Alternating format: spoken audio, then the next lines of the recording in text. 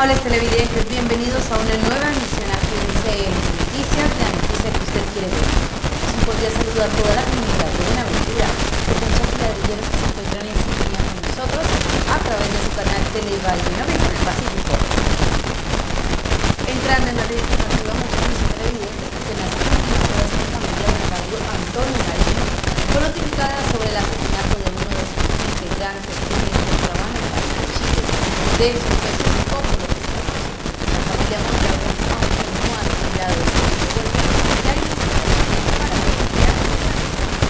Un bonaverense fue asesinado en el país de Chile. La víctima se desempeñaba como peluquero. Este buscaba salir de su país en busca de mayores oportunidades para mejorar la calidad de vida, lo que desafortunadamente ya no podrá suceder, pues la violencia arrebató dichos sueños de cambio para su vida y la de sus seres queridos. Del caso es poco lo que se conoce al momento, las autoridades se encuentran adelantando las investigaciones del caso. La víctima respondía el nombre de Douglas Mondragón. Es de anotar que sobre las primeras horas del día se presumía que estuviera desaparecido, pero su cuerpo fue hallado sin vida por las autoridades del país de Chile. En otras informaciones, muchos de los de registro, agentes de la policía descubrieron el caso de un hombre que venía de Chocó con destino a una de las playas de esta ciudad, el cual tenía antecedentes con la justicia por el delito de porte ilegal de arma de fuego. Es indicado fue puesto a órdenes de la justicia. Un hombre que estaba prófugo de la justicia en el departamento del Chocó fue capturado en el puerto de Buenaventura en las últimas horas, cuando éste pretendía huir a una de las playas de la ciudad para camuflarse entre sus habitantes. Eso es una persona que fue eh, identificada plenamente mediante las labores preventivas realizadas en el muelle turístico. Esta persona tenía una medida intramural por porte ilegal de armas en el departamento del Chocó, estaba violando esta medida y nosotros realizamos el procedimiento de captura y fue dejado a disposición de la Fiscalía General de la Nación. Este no es el primer caso en la ciudad, donde hombres con pendientes con la justicia en sus zonas de origen buscan burlar a las autoridades haciéndose pasar como moradores de esta ciudad motivo por el cual las operaciones de registro a personas han sido incrementadas por la policía en el puerto. Un agente de la policía que se encontraba de permiso en la ciudad de Cali fue asesinado mientras discutía con amigos y familiares. La víctima era oriundo de Buenaventura. Por su parte, las autoridades adelantan las investigaciones de este. Reporte de muerte en las últimas horas desde la ciudad Santiago de Cali. La víctima, un hijo de esta ciudad. El informe establece que la víctima, miembro activo de la Policía Nacional, se encontraba de permiso. Dicho tiempo lo estaba compartiendo con familiares y amigos en la capital del Valle. Pero del descanso y compartir fue interrumpido por sicarios quienes llegaron hasta el barrio Ciudad Córdoba y dispararon de manera indiscriminada. De este atentado sicarial resultó malherido Wilson Hernando Palacio, quien desafortunadamente falleció en un centro asistencial horas más tarde. Palacio era natural del puerto de Buenaventura y se encontraba adscrito a la policía del departamento del Nariño. Y muchos de de la comunidad de la se encuentra preocupada debido a los últimos hechos de violencia acontecidos en este sector. En menos de 15 días ya se han registrado dos incendios. Aunque las autoridades en Buenaventura registran un ambiente de tranquilidad, la comunidad del barrio Independencia se encuentra preocupada ya se han registrado dos asesinatos en menos de un mes dentro de este barrio. Ante esto, el secretario de Gobierno Arlington Agudelo manifestó que las autoridades estarán tomando las acciones necesarias para evitar que esto se vuelva una constante. El día de ayer conversábamos en el informe que nos da el señor coronel de la policía, Edgar Correa, conversamos sobre la situación de independencia, la situación de inseguridad, esa sensación que tiene la comunidad y se van a tomar unas acciones que la policía y la segunda brigada en su estrategia militar y policía sabrán cómo ejecutarla, pero la comunidad del barrio Independencia tiene, tiene que saber que hoy está en la mira de las autoridades que no van a estar desprotegidos y que vamos a tomar acciones en ese sector. Los robos y extorsiones son otra de las situaciones que aquejan a los comerciantes del barrio La Independencia. Tuve la oportunidad de reunirme en el barrio Independencia con un sector de los comerciantes con quienes tuvimos la oportunidad de conversar, analizar algunas situaciones. Esto se puso en conocimiento de las autoridades, pero ustedes deben entender que el delito es mutante y efectivamente lo que hemos venido viendo últimamente es que se han ido operando unos cambios en este accionar delictivo, sin embargo las autoridades no han bajado la guardia y estamos convencidos de que prontamente vamos a dar una respuesta efectiva en este sector del barrio La Independencia.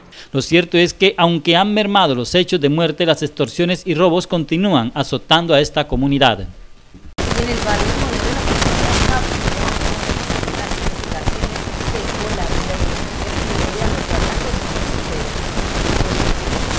Les contamos que en las últimas horas la policía dio la captura a un hombre que se había visto involucrado en un accidente de tránsito, pues según el reporte de las autoridades de tránsito y transporte del puerto de Buenaventura, este hombre habría arrollado a una mujer con su motocicleta y presuntamente se había dado a la fuga. Desafortunadamente esta mujer falleció. Fue motivo por el cual las autoridades de policía dieron captura a este sujeto se realizó otra captura por homicidio culposo. Esta captura es en el barrio El Modelo.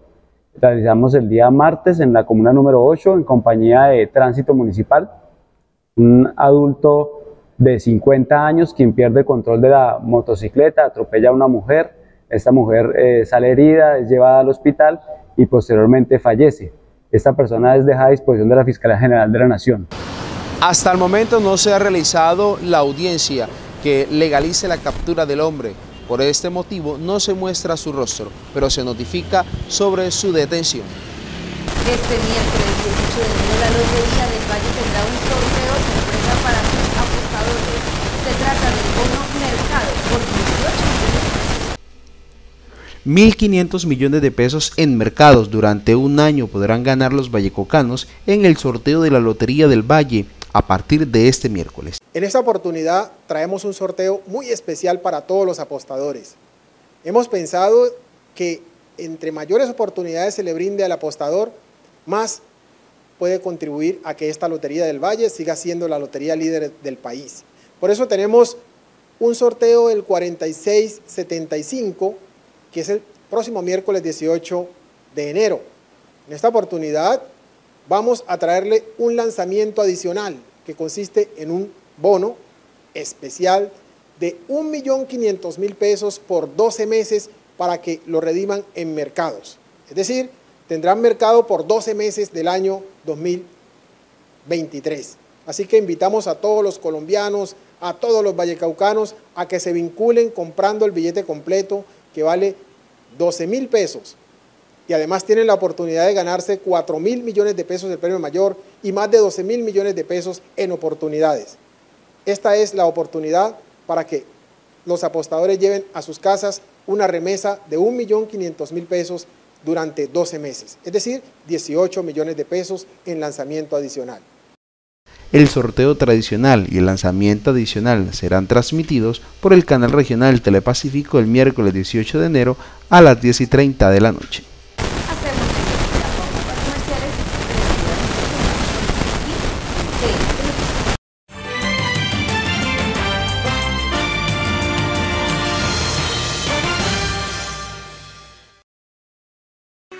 Comerciantes y empresarios, realiza tu renovación de manera fácil, rápida y segura, donde además podrás recibir asesorías para el fortalecimiento de tu negocio. Pero aún hay más. Si renuevas hasta el 17 de febrero, podrás participar por un viaje a Cartagena para dos personas, cuatro días y tres noches, todo incluido. Recuerda que también puedes realizar estos trámites en línea en www.ccbun.org.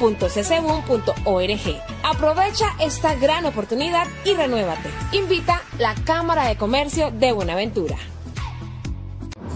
La app Supergiros Móvil y gane Buenaventura y Dagua premian tu fidelidad. En enero, realizando tus compras virtuales de chance, giros, paquetes móviles y recargas BetPlay, podrás ser el ganador de una recarga de medio millón de pesos a tu billetera virtual. El sorteo se realizará el 7 de febrero de 2023. App Supergiros Móvil, un punto de venta en tus manos. Aplican condiciones.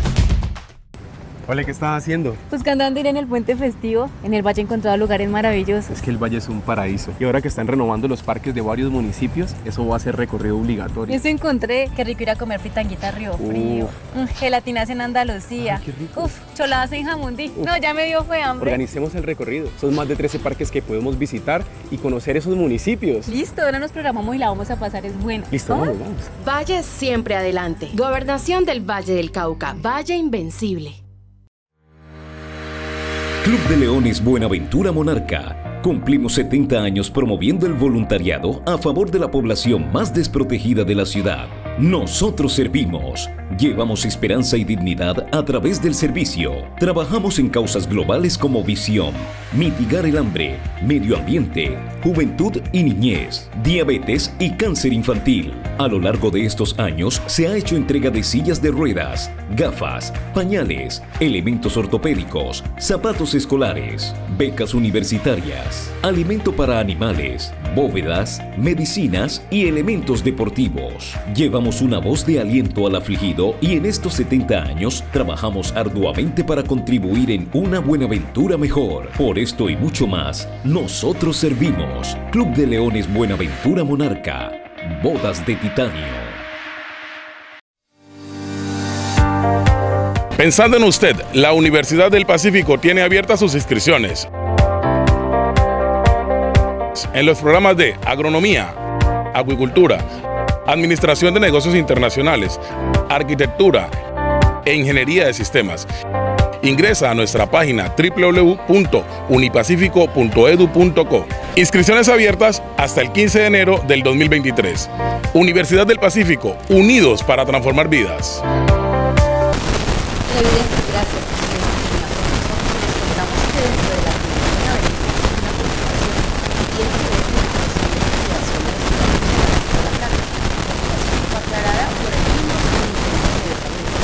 La situación del Hospital Departamental de Buenaventura, a pesar de que ha sido intervenido por la Superintendencia de Salud, en este momento no ha mostrado mejora. Frente a esto, pues también se ha despertado algunas expectativas por parte de la comunidad frente si el hospital va a ser liquidado o no. dialogamos con el Superintendente de Salud, Ulaid Beltrán, él afirma que no va a ser este hospital intervenido y que de igual forma se está trabajando para prepararlo de manera que cuando lleguen los recursos, este hospital los pueda recibir de forma que los aproveche todos. Miremos pues qué es lo que dice Ulaid Beltrán en este informe. Frente a la actual situación del Hospital Luisa Blanque de La Plata, luego que fuera intervenido por la Superintendencia de Salud, existía una preocupación por parte de la comunidad y algunos trabajadores de esta casa de salud de que si iba a ser liquidado el hospital o no. Referente a esto, el superintendente de salud Ulaid Beltrán López dijo que no es política del actual gobierno liquidar hospitales. Nosotros hemos dicho que no es política del actual gobierno liderado por el presidente Petro liquidar hospitales públicos, puesto que el hospital público en esencia es el patrimonio social más importante de la comunidad y especialmente de la que tiene características de vulnerabilidad y pobreza y por lo tanto no sería coherente con un hospital que requiere más bien fortalecimiento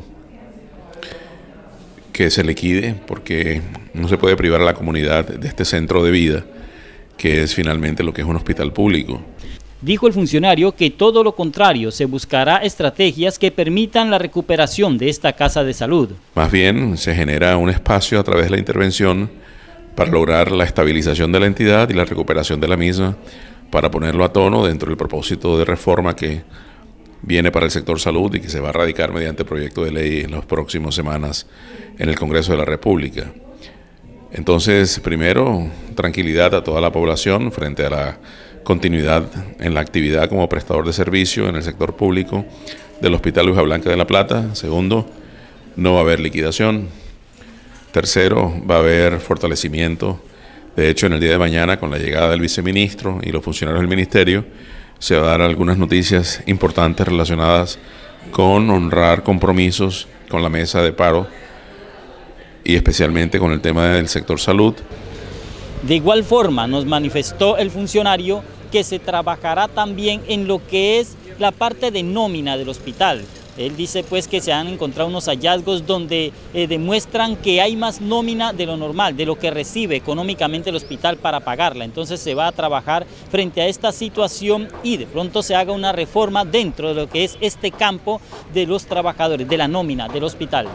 El superintendente de Servicios Públicos también habló sobre la situación que hay en esta Casa de Salud sobre la contratación de personas, la cual excede los límites del presupuesto y esta es una situación que será ajustada por esta entidad. Sí, se ha hecho una descripción de unos hallazgos previos a la intervención y unos hallazgos que se han identificado durante la intervención y en lo que tiene que ver con recursos humanos tenemos una serie de factores que deben ser inmediatamente ajustados. Tenemos una carga de recursos humanos que es más grande en cantidad de lo que puede pagar el hospital teniendo en cuenta los recaudos que efectúa tenemos una falta de política de cálculo de necesidades de vinculación de recursos humanos y por lo tanto se puede estar incurriendo en contratación de personas, primero sin el soporte presupuestal para garantizar el pago, pero también sin el criterio técnico para generar esa vinculación porque no obedece a un plan de necesidades, sino a circunstancias que no tienen el componente técnico de por medio. Y por lo tanto, el gerente interventor tiene una obligación puntual en ese respecto y es hacer un reordenamiento de la identificación real de necesidades de recursos humanos, la formalización de la vinculación que se tiene con el debido soporte presupuestal.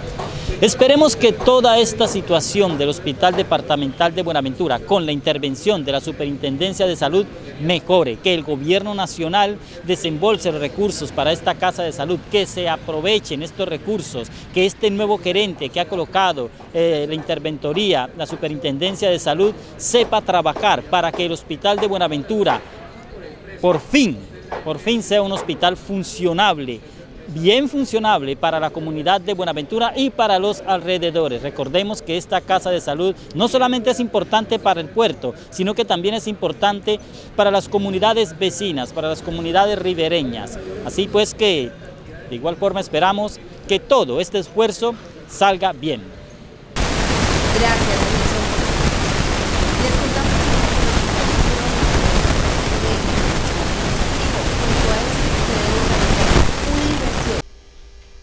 Ya han pasado un mes y los anhelos de cambio que tanto trabajadores como el pueblo de Buenaventura quieren ver en la casa de salud más importante de la ciudad no se reflejan, ya que junto con esta acción administrativa se requiere inversión. Decirles pues con toda la sinceridad del mundo que el hospital sigue en las mismas situaciones en las cuales nos encontrábamos antes, ya que en este mes el señor gerente con su equipo están en un tema de diagnóstico frente a lo que se puede hacer frente al problema que hoy tiene el hospital.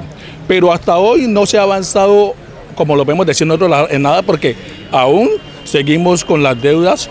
En estos momenticos tenemos a los especialistas eh, sin trabajar porque están en paro. Eh, la explicación es que nos da el señor gerente es que por situaciones de contratación no se le ha podido pagar, aunque la plata esté allí, pero no se le ha podido pagar. Pero también eh, seguimos trabajando con los mismos equipos que veníamos trabajando anteriormente, la planta física sigue igual y como yo se lo quiero manifestar, para que el Hospital de La Plata tenga algún avance significativo en el tiempo, se requiere que el ministerio le inyecte recursos. De lo contrario, puede venir el Papa Francisco en el Papa Móvil y no va a avanzar sin recursos. Asimismo, se ha dado a conocer otra de las acciones que se necesita aplicar y es la reestructuración del personal contratado. En el día de ayer el señor gerente y el superintendente fue claro, el Hospital Luis Ablanque La Plata está sobrepoblado de, funcionarios, es decir, que inminentemente lo que viene es una reestructuración en el hospital, en cual nosotros somos conscientes de que sí se debe hacer, somos conscientes. Hay que mirar en qué forma se va a hacer, que es la, otra parte del problema. Se espera que la inversión que se requiere para sanear las deudas no sea a futuro y al momento de acabar con el sobrecupo de personal, este se ejecute de la mejor manera.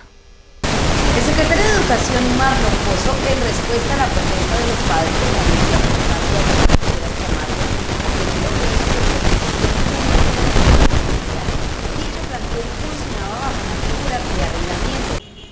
Luego de la denuncia pública realizada por los padres de familia en el barrio Alberto Lleras Camargo con la decisión tomada por el secretario de Educación Marlon Pozos de acabar con el contrato que extendía la sede del núcleo de Jorge o Francisco José de Caldas en ese sector, él nos dio a conocer que no existe como tal una sede oficial, sino un simple contrato que se había realizado por un acto emergente, pero que hoy no hay la necesidad de continuar con él mismo. Bueno, primero es que nosotros no tenemos una sede en el Lleras, no tenemos una edificación pública en el Lleras que esté prestando los servicios a la comunidad escuela de ese sector. Esta sede era una sede arrendada y lo que el ministerio nos está diciendo hoy es que si tenemos capacidad instalada en la institución oficial cercana, los padres de familia deben llevar sus hijos a estas instituciones. Los padres de familia son libres de matricular su hijo en este momento donde quieran, porque no hay un censo que haya organizado la matrícula. De tal suerte que si los padres de familia de este sector quieren tener sus niños, niñas y jóvenes en la institución educativa República de Venezuela, bien pueden ir y matricularlos en la República de Venezuela, pagarles su transporte y ponerlos allá. Sabemos por fuentes fidedignas que estas son cosas orquestadas con el rector de esa institución. Lo tenemos claro, yo el día de ayer visité el Lleras en compañía de otros compañeros de la Mesa de Educación del Paro Cívico. Pudimos hablar con gente de la comunidad, con gente de la Junta y en ese orden de ideas, no sabemos pues, quién era el de la Junta que hablaba con nosotros, que se dijo que era de la Junta. Uno sabe que en esto hay un sinnúmero de cosas, pero esto es claro. Nosotros estamos cumpliendo con la normatividad, con lo que el ministerio exige a Buenaventura. No vamos a seguir en el desorden que se ha venido perpetuando aquí. Asimismo dio a conocer el funcionario que detrás de esto hay algunas acciones que no son legales. Por tal motivo, se sostiene la medida de no continuar con dicha contratación. Asimismo, asegura él que no se puede aducir un tema de inseguridad, teniendo en cuenta que la ciudad está viviendo un proceso de paz. José Alberto Camacho, de San Marcos, se realizaron de manera legal. Un habitante de San Marcos impugnó Eh, cabe resaltar que la asamblea se hizo conforme, eh, tuvieron todos los lo, lo, llamaban a la asamblea y también tuvo la junta directiva la que está reclamando ahora que no se hizo las cosas como son. Ellos tuvieron, decretaron allá y se retiraron de la, de la asamblea cuando estábamos en proceso de elecciones. ¿Listo? Eh, vienen a la, a la, alcaldía y traen un, un, documento donde ellos hacen una elección por fuera de la que nosotros estamos haciendo en otro recinto y posteriormente a esto, como no le da resultado, lo que hacen es impugnar. ¿Listo? Entonces nosotros vemos eh, eh, una desfachatez en eso y ahora lo dice el secretario que ellos forman una elección, una junta dos, donde hay cinco de allá y cinco acá, para que los sentemos y podamos hacer un censo. Cuando para el efecto de elecciones del de Consejo Comunitario no se toma la elección por el censo comunitario, porque en el censo comunitario están todas las familias, está el cabeza de hogar y están los hijos. Para efecto de eso, dos meses antes se levanta un libro de elecciones donde eh, cada persona que quiera ser, elegir y ser elegido va él personalmente y hace la inscripción como tal. Entonces es totalmente arbitral lo que está tomando acá. Eh, pues yo no sé eh, bajo qué ley ellos forman una junta para que esto pueda hacer. Entonces estamos totalmente inconformes del Consejo Comunitario de San Marcos y pues por eso queremos dar la queja por estos medios. ¿Qué solicitan ustedes a la Secretaría de Convivencia? Pues solicitamos que lo resuelvan eh, breve posible porque nosotros hemos, hemos, sido ganadores ya a Frank Cali porque eh, presentamos todos los documentos, todas las pruebas contundentes que él nos pidió y el 30 de diciembre nos dio la resolución, entonces ahora se retrata diciendo algo así. ¿Quiénes se están oponiendo a que ustedes puedan hacer el ejercicio de lo que ganaron en la elección?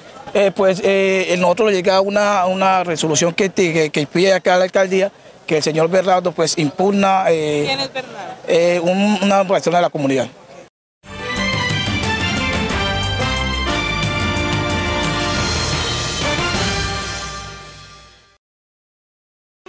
Comerciantes y empresarios, realiza tu renovación de manera fácil, rápida y segura, donde además podrás recibir asesorías para el fortalecimiento de tu negocio. Pero aún hay más. Si renuevas hasta el 17 de febrero, podrás participar por un viaje a Cartagena para dos personas cuatro días y tres noches, todo incluido. Recuerda que también puedes realizar estos trámites en línea en www.ccbun.org. Aprovecha esta gran oportunidad y renuévate. Invita la Cámara de Comercio de Buenaventura. La app Supergiros Móvil y gane Buenaventura y Dagua premian tu fidelidad. En enero, realizando tus compras virtuales de chance, giros, paquetes móviles y recargas BetPlay, podrás ser el ganador de una recarga de medio millón de pesos a tu billetera virtual. El sorteo se realizará el 7 de febrero de 2023. App Supergiros Móvil, un punto de venta en tus manos. Aplican condiciones. Hola, ¿qué estás haciendo? Buscando ir en el puente festivo. En el valle he encontrado lugares maravillosos. Es que el valle es un paraíso. Y ahora que están renovando los parques de varios municipios, eso va a ser recorrido obligatorio. Eso encontré. Qué rico ir a comer fritanguita Río Frío. Mm, gelatinas en Andalucía. Uf, choladas en Jamundí. No, ya me dio fue hambre. Organicemos el recorrido. Son más de 13 parques que podemos visitar y conocer esos municipios. Listo, ahora nos programamos y la vamos a pasar. Es bueno. Listo, vamos, vamos. Valle siempre adelante. Gobernación del Valle del Cauca. Valle Invencible. Club de Leones Buenaventura Monarca. Cumplimos 70 años promoviendo el voluntariado a favor de la población más desprotegida de la ciudad. Nosotros servimos. Llevamos esperanza y dignidad a través del servicio. Trabajamos en causas globales como visión, mitigar el hambre, medio ambiente, juventud y niñez, diabetes y cáncer infantil. A lo largo de estos años se ha hecho entrega de sillas de ruedas, gafas, pañales, elementos ortopédicos, zapatos escolares, becas universitarias, alimento para animales, bóvedas, medicinas y elementos deportivos. Llevamos una voz de aliento al afligido y en estos 70 años trabajamos arduamente para contribuir en una Buenaventura mejor. Por esto y mucho más, nosotros servimos. Club de Leones Buenaventura Monarca. Bodas de titanio. Pensando en usted, la Universidad del Pacífico tiene abiertas sus inscripciones en los programas de agronomía, acuicultura, administración de negocios internacionales, arquitectura e ingeniería de sistemas. Ingresa a nuestra página www.unipacifico.edu.co. Inscripciones abiertas hasta el 15 de enero del 2023. Universidad del Pacífico, unidos para transformar vidas.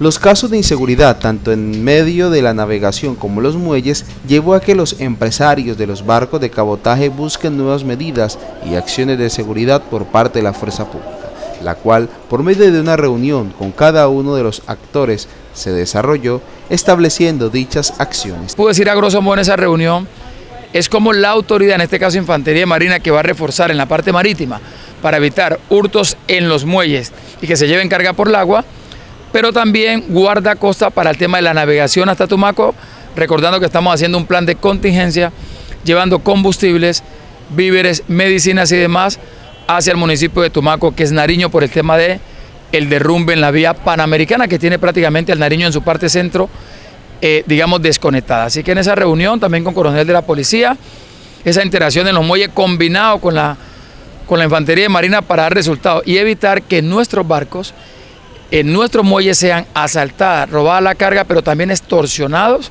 como hemos venido desde hace mucho tiempo. La extorsión ha sido un flagelo gigantesco para nosotros y la reunión de hoy precisamente iba enfocada a un tema de seguridad, pero también de agilidad por parte de la Capitanía de Puerto, que hoy la verdad tenemos una Capitanía de Puerto muy ágil que está dinamizando todos los procesos de los gremios marítimos en Buenaventura.